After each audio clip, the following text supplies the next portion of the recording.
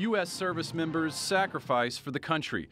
They operate in what Father Jim Hinkle, a Catholic chaplain in the Navy, calls a high intensity, high energy environment. If there's one person that I could identify that needs the sacraments, uh, it's going to be a person who's operating those conditions. Father Hinkle says it's a privilege to serve as a military chaplain. His parents are proud, but more importantly, we're just happy because we know he's doing what God called him to do. I mean, he's he's you can just tell he's just he's just very very happy. Throughout his own career, Father Hinkle's dad, retired Navy Admiral Jim Hinkle, saw the need for military chaplains.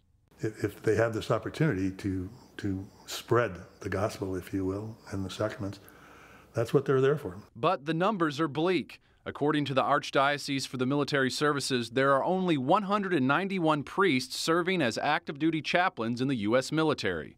And there are 350,000 Catholics on active duty around the world.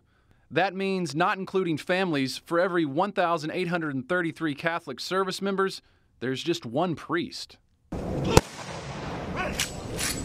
It's a beautiful way of taking care of God's families, the service members. That's the message Father David Kirk, assigned to Arlington National Cemetery, has for Catholic men considering military chaplaincy, including current priest. Father Kirk was ordained in the Diocese of Toledo, Ohio, and later felt a call to serve as an Army chaplain. I thoroughly love what I'm doing. I know this is where God wants me. As Jesus says in the Gospels to his disciples, you have not chosen me, I have chosen you. And he definitely has. I felt the call very strongly. Both Father Kirk and Father Hinkle are in military uniform, displaying their role as officers and priests. In chaplain terms, we call it mastering both sides of the collar. So, so on one side I have my rank insignia, on the other side I have my cross.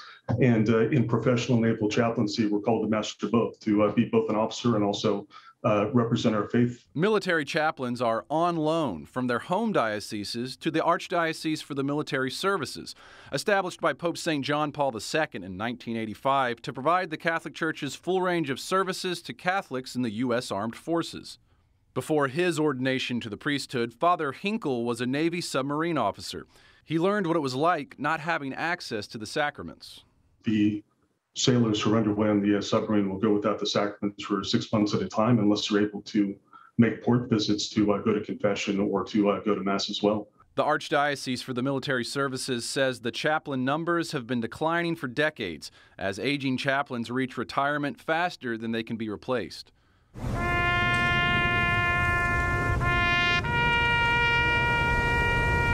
At Arlington, Father Kirk is grateful to continue fulfilling his spiritual military mission.